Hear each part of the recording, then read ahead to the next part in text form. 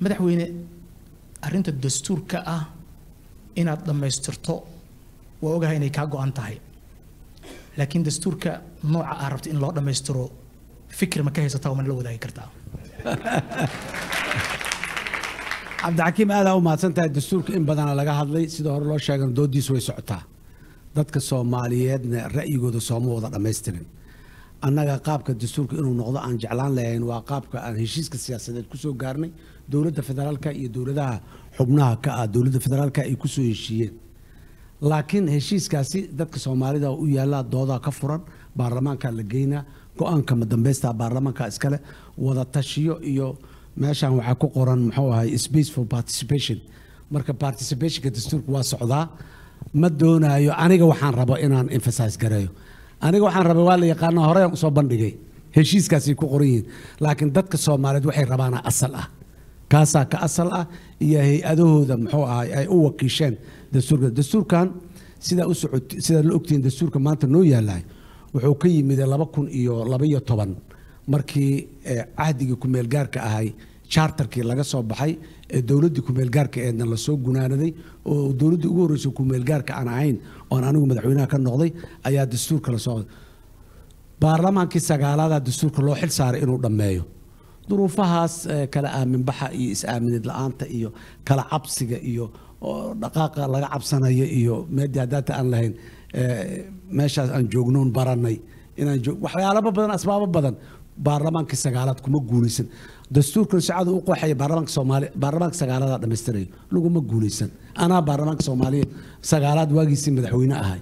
Duruufihii jiray kumaanaan guulaysan. Waxaan dhahnay markii xilliga dhammaanayay aan qodobkaas intaan bedelnaan dhahnay baarlamaanka tobanaad ayaa dastuurka dhammaystiri doono. Baarlamaankii hore waay.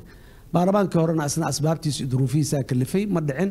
Wuxuu dhahay baarlamaanka koo tobanaad oo baarlamaanka maanta jooga ayaa dhammaystiraya maanta marka waxaan dadka soomaaliyed waxay leeyahay yaynaan dhihin baarlamaanka labiyo tobanaada dhammaystirayo horta ilaahay idinkiis baarlamaankaan dhammaystirayo laakiin dastuurka waxaan ka rabaa aniga waxa dadka soomaaliyeed ay ka rabaan.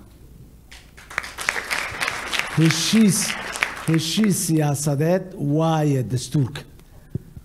Waxaan rabaa dadka soomaaliyeed inay ku heshiiyaan si loo yiraahdo dib u heshiisiin siyaasadeed oo dhab ah ayaa dhacday dadka soomaaliyeed siyaasaddii waa ka heshiya ma afduubayno ma jajuubayno ma hal midoon annagu rabno ku khasbi mayno.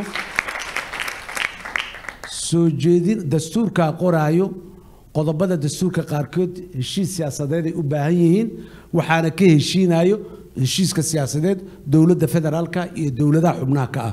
Waa ka soo heshiiyeen isla dastuurkaa qoraayo dadka soomaaliyeed waa inay ka qayb galaan oo doodahooda iyo aaraadooda lagu daraa dastuurka.